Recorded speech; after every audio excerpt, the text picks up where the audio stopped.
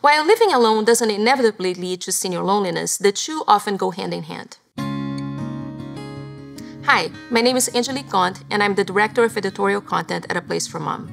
Here at A Place for Mom, we write content on senior isolation and how to prevent it because it can have quite a negative impact on a senior's health and overall well being.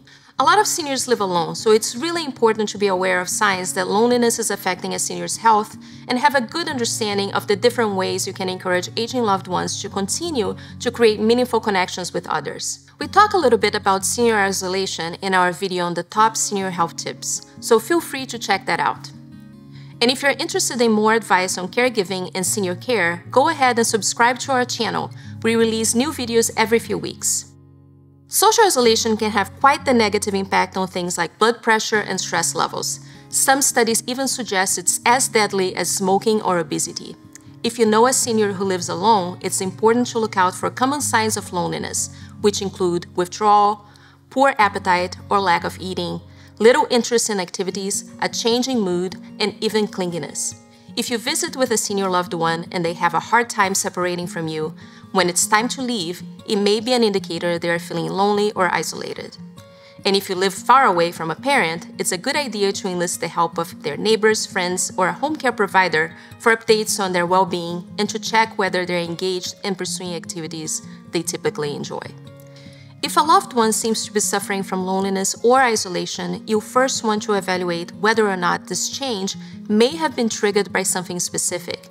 For example, it's common to grieve and experience changes in mood shortly after the loss of a spouse or a close friend. In that sort of scenario, the best thing you could do is support them throughout that process. But health changes like hearing loss, declining mobility, or memory loss can also lead to senior loneliness. So, signs of loneliness may also be an indicator that it may be time to assess a loved one's health or speak to their doctor. One way you could assess a loved one's health is to use something like an activities of daily living checklist. Now, there are a few ways you could prevent or address social isolation. The first thing you can do to prevent isolation is to visit regularly or encourage visitors to stay for a while.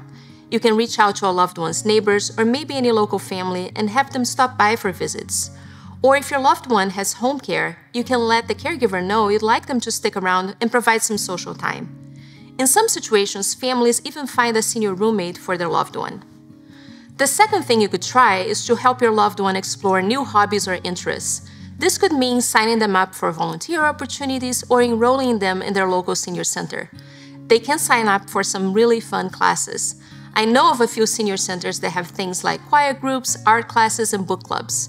This also gives them the chance to make new friends that they could connect with outside of the scheduled classes. Another way to combat social isolation is to get them a pet. This may not be the best option for everyone because pet care can take a lot of effort, and if your loved one struggles with mobility or other daily activities, adding a pet to the mix could do more harm than good.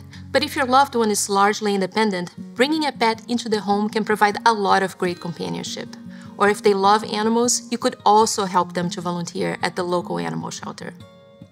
Another thing you can do is try counseling. These days, this can be done both in person and online, so this is a lot more accessible than it used to be. Speaking with a counselor can allow a senior experiencing loneliness to understand where those feelings are coming from, explore possible solutions, and determine if something deeper is going on that needs further evaluation. If you've tried some of these things and a loved one is still experiencing feelings of loneliness or isolation, it might be time to consider a senior living community. If you've been hesitant about bringing up senior living because your loved one is very independent and really doesn't need care, it's important to keep in mind that there are senior apartments and independent living communities that focus less on providing health care and focus more on just providing community for seniors.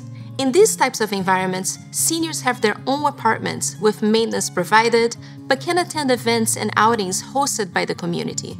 Or if your loved one does need some assistance, assisted living can provide both. Keeping an eye out for signs of senior loneliness or isolation can help you determine the best course of action. I hope you found this video helpful, and don't forget we have a lot of other helpful resources linked in the description. If you're interested in more senior care or caregiving advice, don't forget to like this video, subscribe to our channel, and visit theplaceformom.com.